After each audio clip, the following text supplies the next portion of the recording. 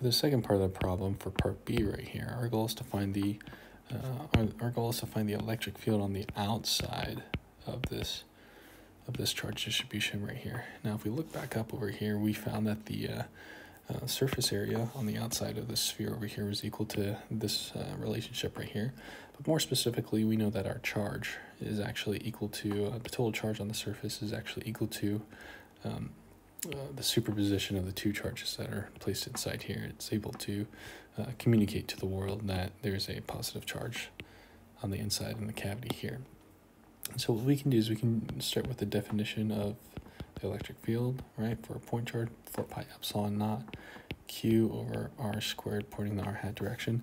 We know it's going to be uh, pointing the r hat direction just because of spherical symmetry right here. And the way that it works in next to superposition is that um, we can essentially just ignore everything that happens on the inside of the sphere, right?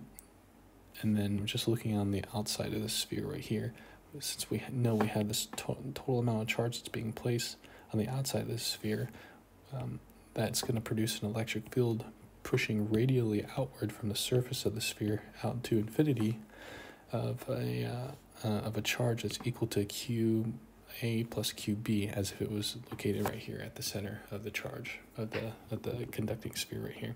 So we can just go ahead and make that substitution for a big Q.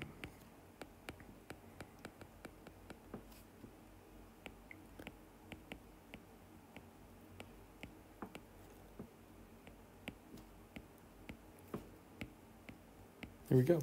And that X actually is our, um, our answer for this part of the problem. And uh, whenever we go inside of the sphere here, that's a little bit of a different story, but the problem specifically asked us what is the uh, um, electric field uh, on the outside of the sphere here. And so that is what we're looking at right here. It's uh, as if you just uh, superimposed these two um, uh, charges right here at the center and then just radially outwards from the outside surface of this uh, conduct large conducting sphere that we have here.